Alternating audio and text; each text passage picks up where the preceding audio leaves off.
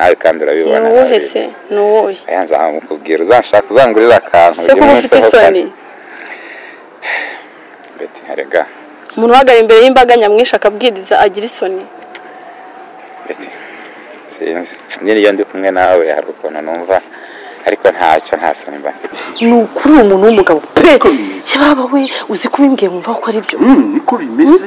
Naho bose aje agasanga wakomeje ya migambi yawe ndebe koko toni yahindutse.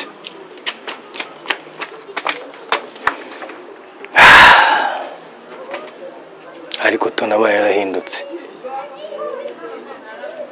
Sinzi kabisa. Sekibi sekibi we. Ngiye kuzamusuzuma mu testingi ndebe koko toni yahindutse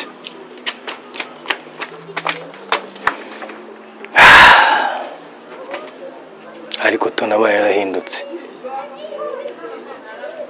sinzi kabisa Mhm. Toni niba mbwira ariya magambo. Toni avuga amagambo imirongo yo muri bibiliya. N'amafuti ye. Ah, ah, ah, ah, ah, ah.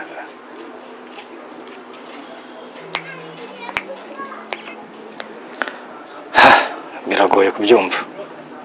Ariko ndamusuzuma. Nzamutesitinga umva ko yigenje.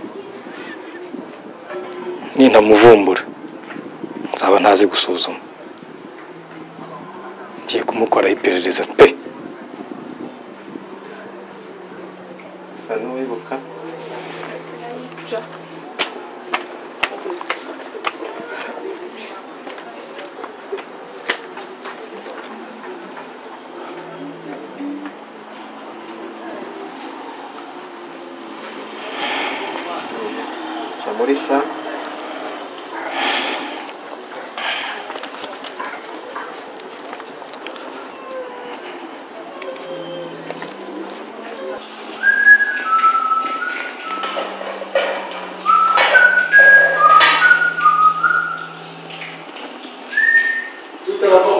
Ah, bite shabure. tive ici Ah, umeze utera. akwemera telefone Gira ku kise ndabona akazi ubu kamereye nabi. ah ah ah ni hatari Mm. ni hatari kabisa hose Ah, nanjye mba ndamba nkarimo kabisa. Mm, birimo biragenda. Eh, none se tuta Ya. ngo ngo ngo bose ngo ngo umunsi ngo mu kanya ngo kwagiye kugenda Eh, Nanjye amakuru ndumva ari kameze ariko sinzi igihe azagendera. Afite isafari, afite urugendo rukomeye rwose. mva se ubwo ko ari mu kanya Mm. ngo aragenda mu kanya Ha ntabwo ngiye mbizi ariko ayo makuru nanjye na yo nayataye mu gutwi. Kuko yambwiye ko afite urugendo ariko ntiyambwiye umunsi. mva ko nta makuru ya boss ukimenya Mm. Ha amakuru ya bose mba kuyamenya bose bagomba kuyamenya Mm, ariko muri iyi minsi ntabwo ambwira cyane kubera ko afite akazi kenshi nyine mbona no kwitegura urugendo ariko yambwiye ko afite isafari ikomeye ko ngomba kuzamenya nkasigara ku rugo neza. Muri iyi minsi agiye guca. Agiye kugenda ahubwo mu kanya karabaye ahubwo se njyewe hari ikintu ndo kwiga. Uriya boss namara kugenda Mm. urebye P- pesi na florence urabona bazabana gute? Kare yo mpamvu ngira nkubwire ngo ukaze kimono? Ubundi icyo uhamagariye ko muri sikora ntabyo none se am- amakuru ariko ntuyazi ntabwo uzi ko aba bantu ntabwo bazi ukuntu bashwana yabaye uzi ko uheruka inzira muki?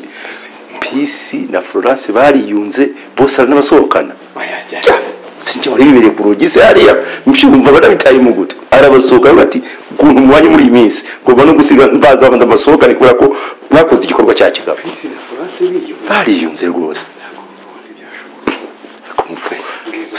Uzi ko wibera mu masahani hano wese amadogo gusa. Eh? ukuri ngoye ku nkoko. Icyo icyo ni cyo warumpamagariye wowe ikintu ikintu cyo nakubwira? Ibya pisi na florence uzabireke byararangiye. Ubu babaye neza cyane. Ni abamarayika rwose. Ni gute pesi na florence kugira ngo babane? Nk'injangwe n'ibebedo nibo ntibishoboka. Hano wowe nta nta nta makuru Ah, amakuru ndayafite umva iyo nama ni nanjye wayigiriye nti ugomba kwiyunga. Na muramukazi wawe florence ntumuzi Eh, ntumuzi yarabikwemereye. Yarabinyemereye kandi yarabikoze. Ku buryo na bosi rwose yabishimye akabasohokana. Nubwo tutajyanye uriyo bosi ahari ntabwo nyangera inyuma ya Florence. Nasigaye hariya ndi ku kazi. Ariko ibyo bintu byarabaye. Kandi baje bafite ibyishimo no ku maso murabibonaga ese ntubona ko mabuja asukura? Asigaye akeye. Mabuja arakeye rwose. Menya n'umwana w'umuntu byaramugezeho. Uretse uzarebe bose amare kugenda.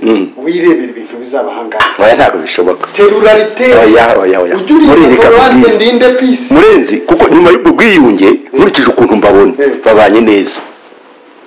Ndakurikira si ni ibintu urareka njye wowe kubera ko ngo mu madungu ntabwo ujya uba- ureba reba ngewe ibintu byose mba ngomba kubicungira hafi kugira ngo baramutse hagize n'ikiba bose abe- mbe nagira icyo mubwira.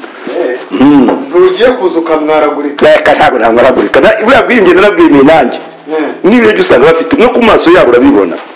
Ngatamera kariya karoti ba aya niba ari byo wari mpamagariye mba nariye mwana mba nariye ntabwo wari umamuriye mbwira icyo kintu kandi ariko ukoze neza kuko bose ari buriya iyo bose adahari ni njye ibintu by'ibyo mba ngomba kubimenya ariko nkuvana inzira ku murima kuko bariyunze ubwo bwiyunge nari mburimo ariko basohoka Eh, nzakwihura umuriro Sawa.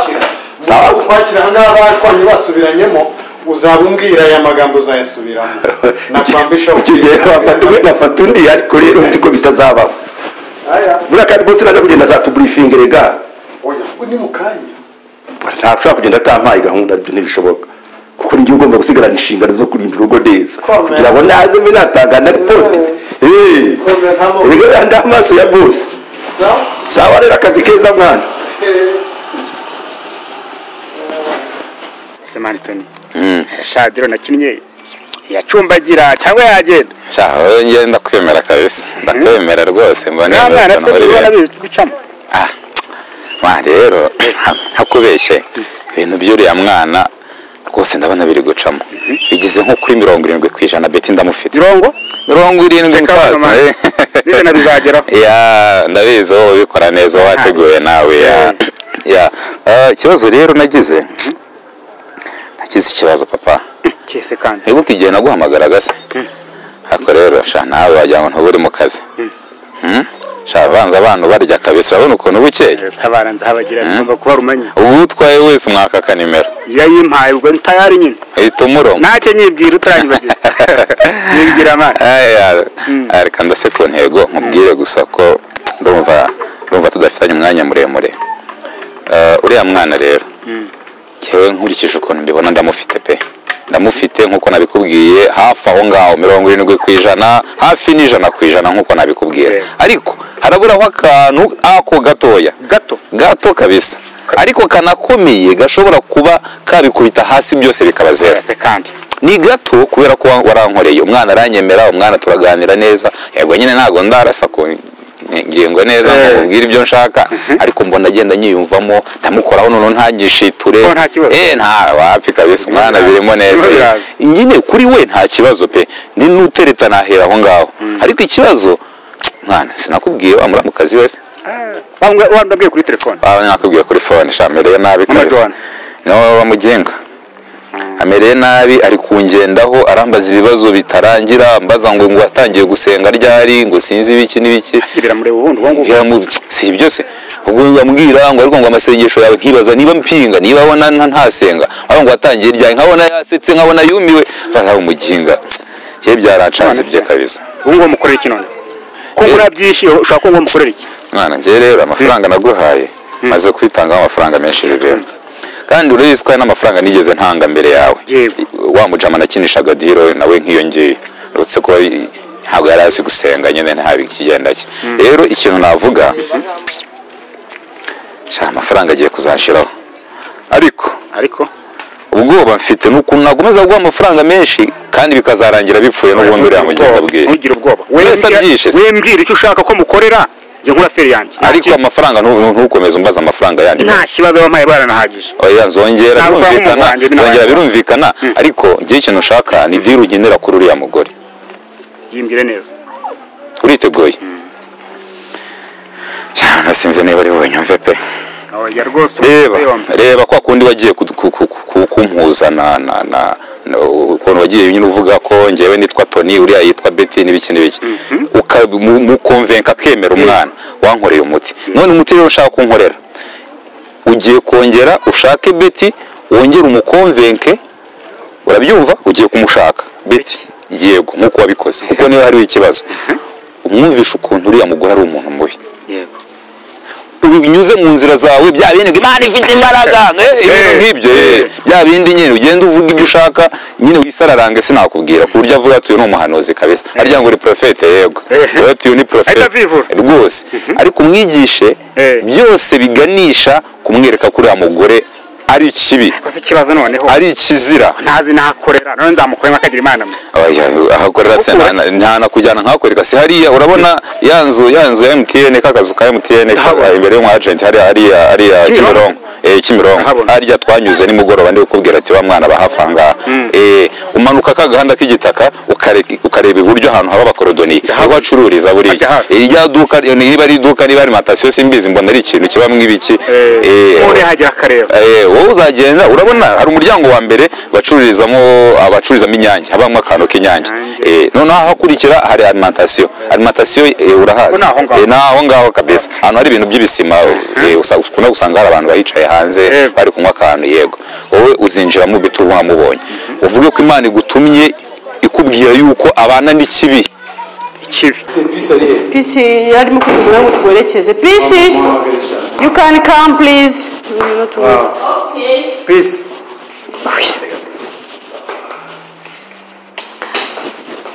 none se ubundi pisi yaba yagufashije. Pidi ngwino kugenda utamperekeje ahaha karekare Mm.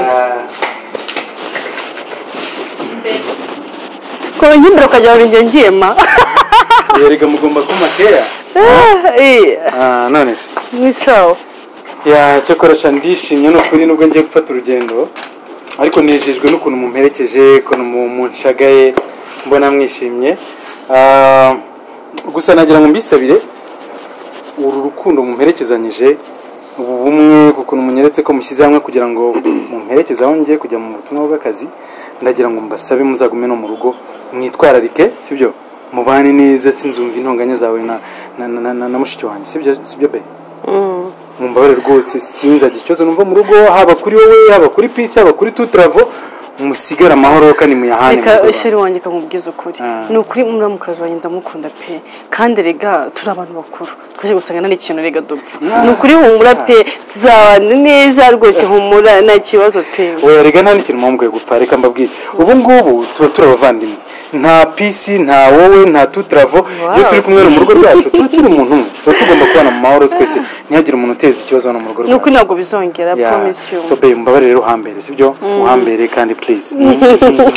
Sibyo uhambere kandi ugerageze ubane neza na peace ntihazagira ikibazo kivuka. Sibyo sheri Mm, kandi kamubwira ikintu kimwe. Nindamuka nje ino minsi yose ngiye kumarara mu kazi mu- mu- muri buno butumwa bw'akazi ngiyemo ninza ngasanga nta kibazo cyavutse muri runo rugo. Nkasanga nta bintu by'ubuzererezi byigezeho ngo wongere uve mu rugo uko wiboneye uri kugendagenda kwa kundi kwawe nta ntonganya tuturava mwarabanye neza hari ikintu nzagukorera gikomeye mu buzima. Trust me. Wow. Oh, nubwo nakizi ariko ndumva I have a surprise for you. umbabare witware neza kugira ngo icyo kintu ndimo kuguteganyiriza cyiza nzasange uri mu mwanya mwiza kugira ngo nyigukorere sibyo umva Yes. ngiye kubyubahiriza umva habe no kujya kuri paritaye No. uzaguma aha ngaha mu rugo mpaka kandi ni ukuri uzasanga ibintu bimeze neza nta kibazo ahubwo icyo kintu mbaho ndumva iminsi itinze kugira ngo uhite ugaruka ubundi ukinkorere rero ndimo kubona amasaha arimo turumva ko kitabitiye amatsiko ariko se ko ndikora Yego. ntacyo avuga oya nta kibazo bro mba mba mba ndimo kureba ukuntu n'umudamu wawe mumeze oya ariko ntabwo tugomba Sha, kwishimana ahubwo si ukuri, Eh? ubu ntabwo nzamukunda. so tell me something before I, before I leave. light, nothing much. I wish you all the best. thank you so much my sister. Thank you so much. Wawe like it. Ndumva nafata agafoto nzabakumbura ndi kumwe nzabakumbura ndi kumwe nzakumbura pisi tutravo kwa kundi twabaga turi kumwana mu rugo even my baby So, ndi kumwe no pe kuri icya mbere ni akazi ahubwo reka ndebe ndabona amasaha arimo kugenda mfata nasanga indege yansize reka rero ndebe ukuntu agenda. So turaza kuvugana se? yes. Uretse nkuzanye uziko waruse passport yawe na really? Imajya sibe kuki utari wanyibukije ariko ndumva utagenda mwana nce wangotesheje no uri kugenda ni iki Oh my god, thank you so much my sister. I have a surprise for you. Nzakuzana akantu keza. Serious. now you get it I promise, I promise. I have to thank you Nasikore nibagiwe sha. no bebe bebe yishyire hano hafi hano hano bya byagera ako be nawe rero. Umva mwari mwancanye ibaze yongera kuri airport nkasanga. ah ndabyibutse bashyize hafi kugira ngo nibagusaba uhite ubibona byoroshye.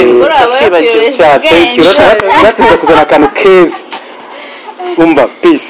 Trust me, nzakuzana akantu keza. Yeah, even my lovely wife.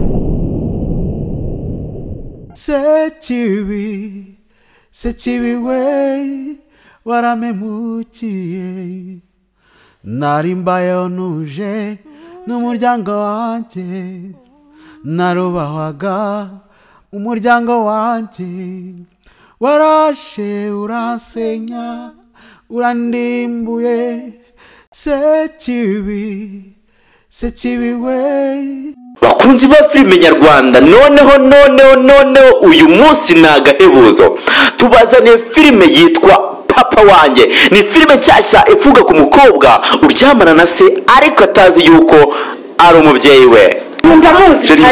Aba- ni uku babaye. kugira ngo uko yangize Babarira. Hanze. oya jini ndashaka kubanza kuvugana nawe. Ni iki gituma- dushaka kumenya umwana wawe uyu nguyu ufite ntangana n'umukobwa wawe murangana nawe uzamera genda mariya genda genda umukozi arabigushangisha hanze genda reka njye kwiruhukira uti byagenze gute mariya akiri muto yari indayaza agura n'umugabo witwa jimmy amutera inda aramwihakana avuga yuko umwana atari uwe rwose adashaka no kumubona amaze gukura nyina yifuza yuko umwana yahura na se kugira ngo atazamukorera ibya mfura mbi ariko se arabyanga mbikwiye inshuro nyinshi se uyu mwana simshaka kumubona rwose ntazagira ngo agira rimwe nka- nkashaka no kumufasha we mbabarira mariya kurikirana iyi filime iri guca kuri desembura tv nk'ibisanzwe mu wa mbere mu kuyireba kuko episode ya mbere aka kanya tuvugana yahageze